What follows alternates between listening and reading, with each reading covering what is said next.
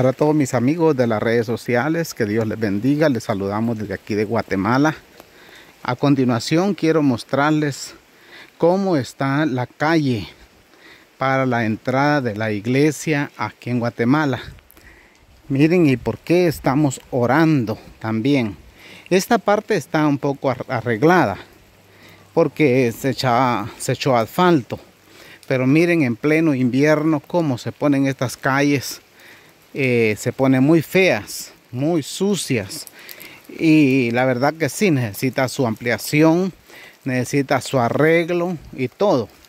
Y la verdad que aquí es un lugar de, de escasos recursos económicos y la gente pues regularmente no tiene para arreglar.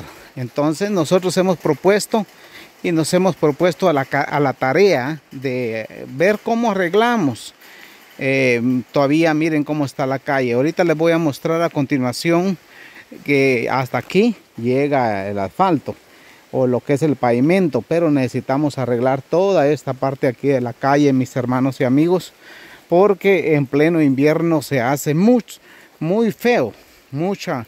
Hemos tirado, eh, hemos tratado de tirar un poco de, de eh, lo que es balastre, pero o piedrín, como le llaman, eh, pero la verdad que no, está muy feo mis hermanos y amigos. Eh, cuesta que la gente pueda llegar a la iglesia con esta calle tan, tan fea. Miren cómo está.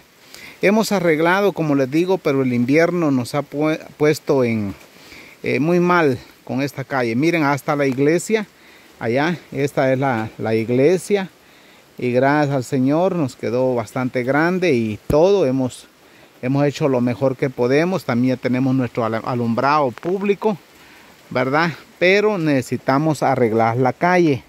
Entonces lo ponemos, mis hermanos y amigos, a la disposición de cada uno de ustedes que de repente tienen y pueden colaborar con nosotros con el arreglo de esta calle. La verdad que sí necesitamos arreglarla. Por lo menos echarle una capa de 4 a 6 pulgadas de, de pavimento para, para que la gente pueda llegar a la casa de oración, a la casa de Dios, a la iglesia y puedan llegar eh, pues bien, ¿verdad? Miren, necesitamos arreglar esto. Eh, la verdad por todo son 115 metros de calle, pero de aquí para arriba solamente son 54 metros. No es demasiado, la verdad no es demasiado, pero eh, lo que sí es demasiado es, miren cómo se pone la calle de fea. Y esto no es descuido ni es nada. Sencillamente, ahí, ahí está, ahí está la casa de oración, ahí está la iglesia. Pero sí necesitamos arreglar toda esta calle, mis hermanos y amigos.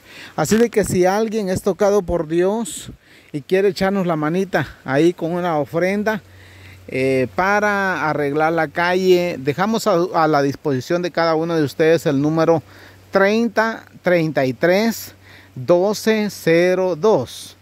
30 33 1202. De repente hay alguien por ahí que se pone la mano en el corazón y la otra en el bolsillo, ¿verdad?